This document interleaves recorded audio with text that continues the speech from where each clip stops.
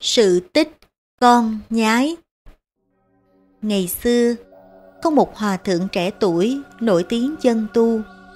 Mọi thị dục của bản thân, hòa thượng đều kiên quyết cắt đứt, chỉ một lòng chuyên chú vào lẽ hư vô của đạo thiền.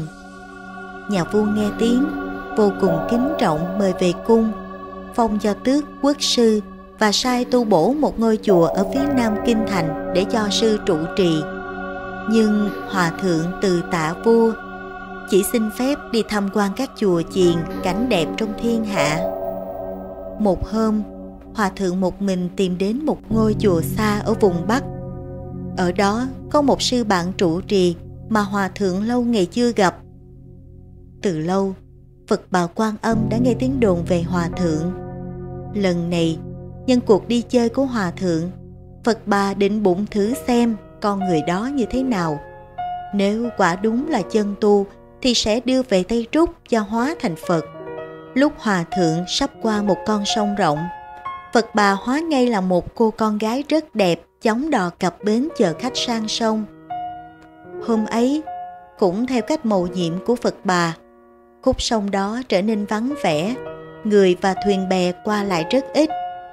Khi hòa thượng chui vào trong khoang đò, thì cô gái nhổ sào chèo ra giữa sông. Đoạn nàng chèo thuyền tiến đến một bãi cát vắng đậu lại. Hòa thượng lấy làm lạ, hỏi cô lái vì sao không đi thẳng qua bờ bên kia. Cô lái chỉ đợi có câu hỏi ấy là buông chèo, cười một nụ cười rất tình tứ, rồi cũng chui vào khoang, trả lời một cách trắng trợn là thấy sư đẹp trai quá nên cấm lại đây, chờ xin một chút tình yêu. Hòa thượng vốn nghe nói con gái ở vùng này có nhiều người đáo để nên nghiêm nét mặt lại. A-di-đà Phật, mong người trần giới buông tha cho kẻ tu hành này. Nhưng cô lái đò đâu có buông tha. Cô cố sáng lại gần gợi tình.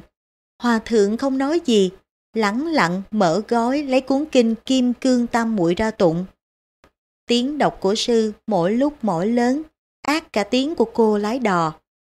Nhưng cô lái đò vẫn cười cười, nói nói. Rồi cô che tay lên quyển kinh. Hòa thượng ngoái cổ nhìn ra ngoài đò, rồi nghiêm khắc cảnh cáo. A-di-đà Phật, trong người bần tăng có một tờ lệnh chỉ của hoàng đế. Trong đó, hoàng đế đã ra lệnh là hễ người nào chạm vào người bần tăng sẽ bị án trảm quyết. Vậy bần tăng mong người đừng chạm vào phép của thiên tử.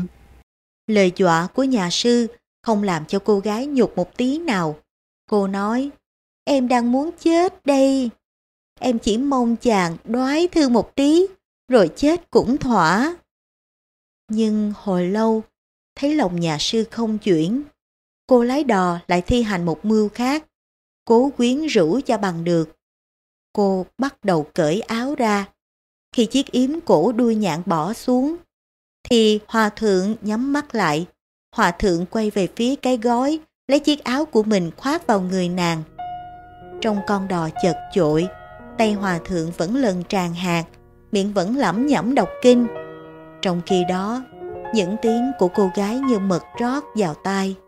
Chàng thương em một tí. Chàng nhìn ra ngoài xem, không có ai cả. Phật bà quan âm rất cảm động. Những người con Phật như thế này rất xứng đáng chiếm một chỗ ngồi trên niết bàn. Nhưng đã thử thì phải thử cho trót. Lần tấn công thứ 9, cô lái vẫn bị cự tuyệt. Hơi thở cô con gái trẻ và đẹp phản phất ở trên má. Nhưng nét mặt của hòa thượng vẫn không thay đổi. Nhưng đến lần thứ 10, cô gái không ngờ thành lũy tưởng là kiên cố lại bị hạ một cách bất ngờ như thế. Bàn tay hòa thượng tự nhiên bỏ lên mình nàng Thôi thế là chỉ trong một phút vứt hết hơn 20 năm tu luyện. Thế là chuyến đó, Phật bà Quan Âm không được hài lòng. Giận vì Hòa Thượng đã thiếu kiên trì trước sự cám dỗ của thị dục. Mà đã như thế, thì thanh danh cũ không còn đáng đếm xỉa nữa.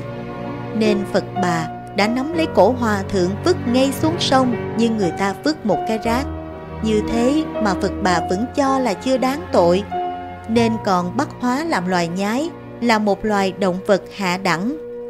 Cũng vì thế mà người ta nói rằng ngày nay dòng dõi của loài nhái vẫn còn giữ cái thói quen của tổ tiên.